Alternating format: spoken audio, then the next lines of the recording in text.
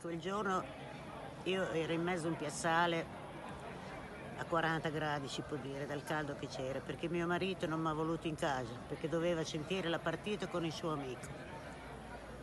E, e, dopo un bel po' non avevo orologio non avevo niente ho detto adesso vado a casa sarà come Dio vuole io non posso più stare qui al caldo. A metà scala mi corse in testa ormai mi foga perché dalla contentezza che aveva non, non sapevamo ancora che aveva fatto gol però sapevamo che la Lazio aveva fatto gol dopo mi hanno telefonato da Roma, un'amica di Roma, e mi ha detto che aveva fatto gol Giuliano.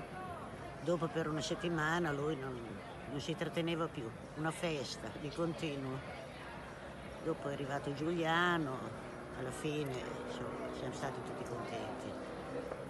Non tanto per lui ma per la società stessa che si è salvata, insomma. Gli era successa una bella cosa, ecco tutta la squadra, non solo lui, perché devo dire la verità, comunque è andata bene.